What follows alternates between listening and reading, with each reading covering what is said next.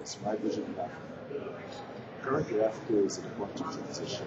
It's been known as the continent of potential for a very, very long time. Yet, at a time when the world is seeking natural resources from the continent in a different forms, through globalization, through what would appear to be intended uh, trade deals, etc., we need to be able to use our natural resources for our development.